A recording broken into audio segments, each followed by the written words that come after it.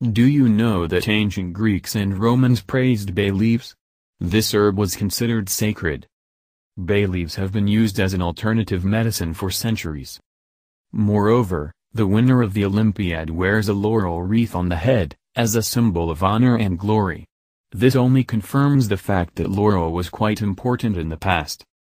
You may use it as a spice, but bay leaves and its berries come packed with a healthy portion of healthy compounds. Pinene and cineole are the most effective active compounds in bay leaves.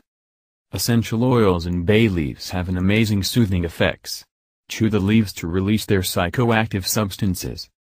The power of bay leaves is described in many myths and legends.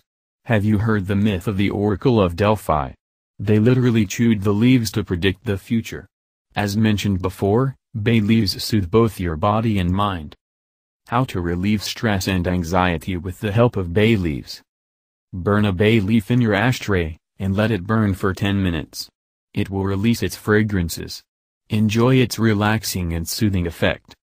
Bay leaf infusions help in soothing stomach ulcers, colic pain, ahem, and flatulence. Bay leaves are used as natural insect repellent. Some use it to treat arthritis, muscle pain, and symptoms of flu. Now that you know the power of these leaves, you can start using it today. Remember, it is the leaves that Olympic champions wore after winning a discipline.